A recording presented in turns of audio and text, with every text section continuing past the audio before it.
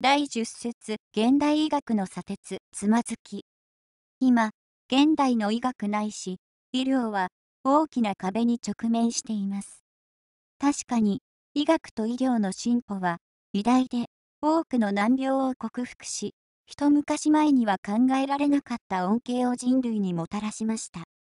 がんすなわち悪性腫瘍という疾患概念は西洋医学が確立したものであり、東洋医学では診断すら不可能です。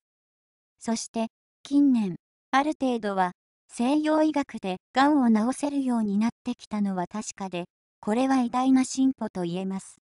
しかし、医学の進歩の偉大さに幻惑され、我々は大切な原則を忘れているのではないでしょうか。結局、天地自然の理に反する治療法は、一時的にはいいように見えても、長期的な視野から見れば、決して人間のためにはならないという真実です。臓器移植や試験管ベイビー、人工授精などは、確かに恩恵を受けた患者さんが多く存在する反面、なんとなく、理屈では、説明のしようない違和感を持つ人も多いはずです。このような思いを、腑に落ちないと表現します。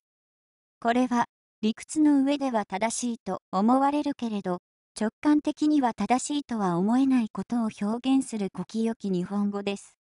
要するに、頭では理論的に理解できて正しいと考えるしかない理屈なのですが、すなわち腹の奥には、なんとなく、その理屈がストンと落ちない、すなわち納得できない状態を表現しています。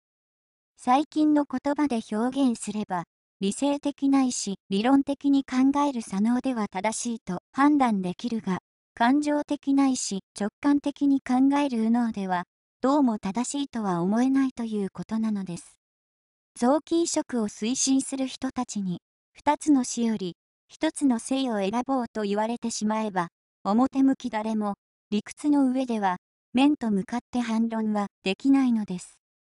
しかし、私は、個人的には、臓器移植、試験管ベイビー、人工授精、性転換手術、遺伝子組み換えなどは、天地自然の理に反していると思います。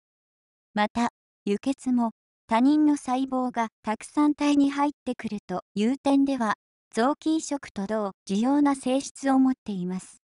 エホバの証人が輸血を拒否するのも、彼らは理屈ではうまく言えないので、神の教えなどと言っていますが、直感的に輸血が天地自然の理に反していることを感じているからであり、私は彼らの直感は正しいと思います。現代医療は高度化するに従い、現場ではますますお金と手間がかかるようになってきています。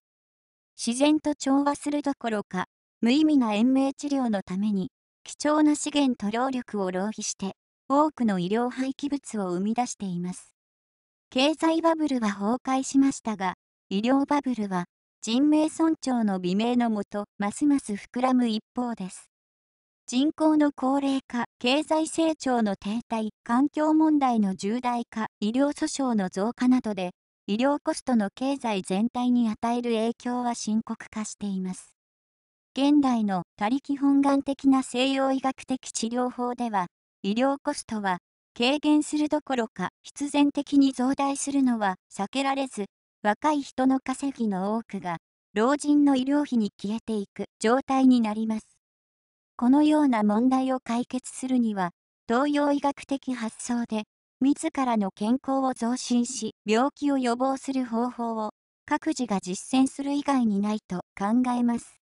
例えば、漢方薬は自然の総根木比である木薬から作られているために、科学的合成を行う工場の必要な西洋医学の医薬品に比較して、環境に優しい医薬品と言えます。現代社会は、経済発展を市場命令としており、政府も国民もそのことしか頭にないように見えます。大量消費とお金儲けが、今の人々の生きる目的となっています。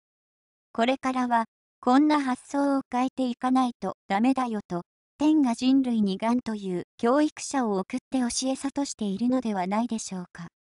老子は国家のありさまとして小国家民を挙げ、領土も人口も少なく、国民は質素な食事、衣服、住居や素朴な生活習慣に満足し、呼べば届くような近くに別な国があっても、国民は自分の生活に満足し、死ぬまでそこに行こうとしないような国家を理想としています。信じられない発想かもしれませんが、私は、これが理想の人間の営みであると思います。このような発想の転換が、癌を克服していくときは必要なのです。